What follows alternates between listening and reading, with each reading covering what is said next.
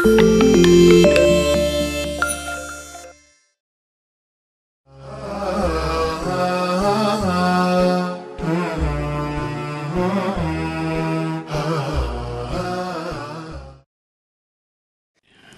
مهدی از اولادهای حضرت حسن عسکری رضی الله تعالی عنهم می باشند عرض حضور با توجه به فرموده بزرگان دین یکی از اونها حضرت شیخ حسن عراقی سلطان العاشقین مشهوره 400 خلیفهش ارشاد کرده در بین مردم. همین مسلمان های الان در هندوستان و پاکستان هستند.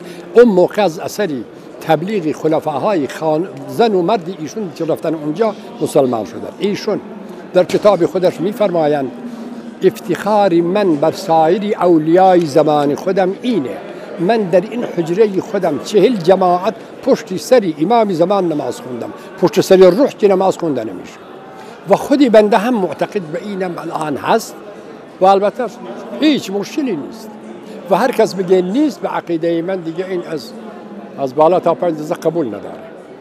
و در بین اهل تسنن در بین اهل تشیع و تسنن من پارسال در مکه هم اینو عرض کردم. گفتم ما با هم اختلاف نداریم. اختلاف ما با مسیحیت چین ها میگن حضرت مسیح میاد ما قبول داریم حضرت مسیح خیلی بود پیغمبری از بله ولی ما میگیم نخیر امام ماست میاد حضرت مسیح هم با ایشون میاد. أنا مدرك أن الإمام المهدي عجل الله تعالى فرجه هو حي وننتظر إن شاء الله ننتظر بمشيئة الله خروجه وأصبح إن شاء الله أصبح الخروج قريبا وأصبح الظهور قريبا. شيخنا الكريم ما هو اعتقاد علماء أهل السنة حول ظهور الإمام المهدي وأنه حي في هذا الزمان وموجود؟ الأمر المجمع عليه وهذا ما يجمع عليه الأمة الإسلامية أن أحاديث المهدي المنتظر عجل الله فرجه وكرماته وبركته لهذه الأمة كلها حتى يملأ الله به الأرض عدلا وقسطا بعد ملئت ظلما وجورا.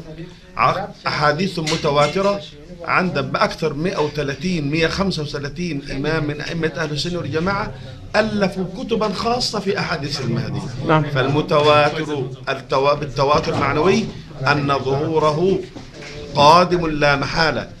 الظهور سيأتي يدخل من الباب أو من الشباك أو يطلع بالسقف. المهم أن قضيته قضيته هذه كما أن قضية الغيبة الكبرى قال بها عدد كبير من علماء العالم الإسلامي زي محي الدين العربي وأيضا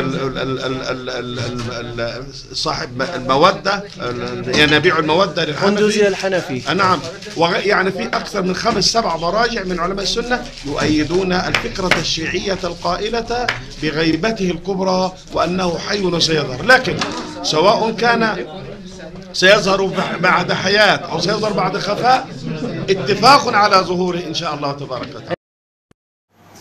ولكن هناك كلام هل الإمام المهدي عليه السلام الله هو قد ولد أم الإمام المهدي عليه السلام الله سيجد عند وقبل ظهوره؟ فنحن نسمع كثير آه، من العلماء الذين آه، يحاولون أن يتطلعوا إلى إلى إنقاذ الله تبارك وتعالى للبشرية وما هو آه، واقع بها من ألم وطغيان وفجور وعصيان.